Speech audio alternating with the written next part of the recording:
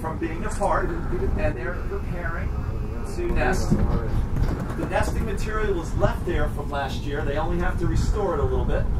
But the poles are put up to make it easier for them to reproduce because osprey like like I said tall areas.